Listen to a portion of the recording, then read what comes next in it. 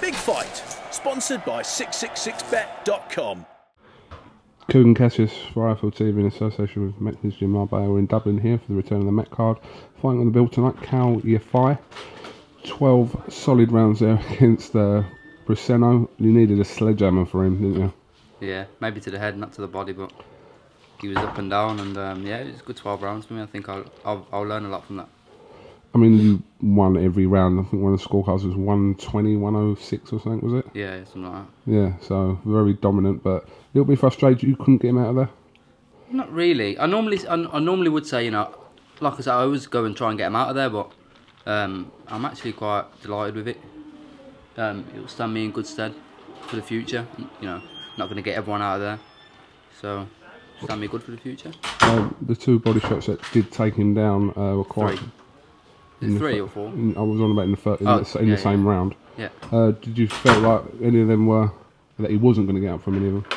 Um, yeah, I thought I didn't, I didn't think he'd get up from the second one, but he got up, and I think the tape and all that, all that stuff saved him a little bit. Um, I think the ref could have stopped it really, could have piled it on a bit, but let him go on. Saved by the bell, and, but like I said, got tw- 12 good, 12 good rounds in the bank.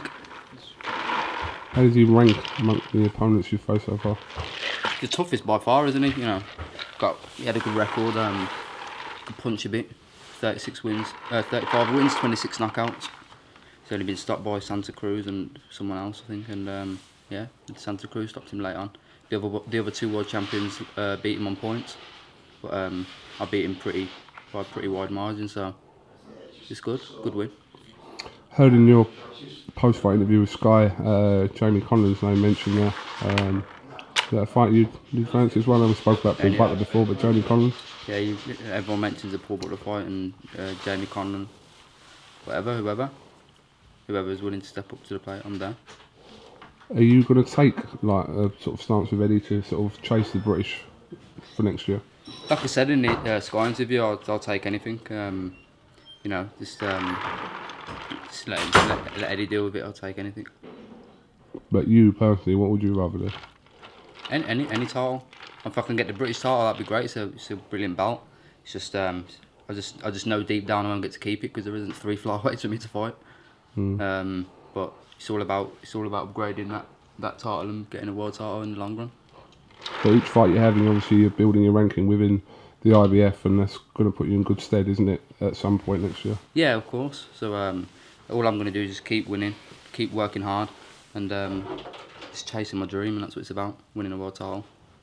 Christmas off for you? I'll have a week off or so, yeah. Have a break. I've had a tough year. Been in the gym all year, all year round.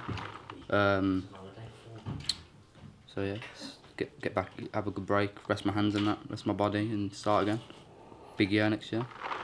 Certainly hope so. Um, all right, and Kal, well, listen, thanks for talking to uh, IFL TV. No, no problem. It was a pleasure. Yeah, interesting chat we had last night, wasn't it? Yeah, very interesting. In your interesting. room with the snake next to us. So he's entertaining when he's about. it is. He didn't even really say anything, did he? He just laid there. Just laid there naked, half naked. Is that your? Listen, if I, if someone called me the snake, I wouldn't be like moaning about it, unless they were calling me like you know, in the other way. Oh, you really? Sullivan. Oh. All right. Well, listen, Kal. Thanks for talking to IFL TV, and uh, we'll catch up with you soon. Definitely, man. Keep doing your thing. Thank you very much. The Big Fight. Sponsored by 666bet.com.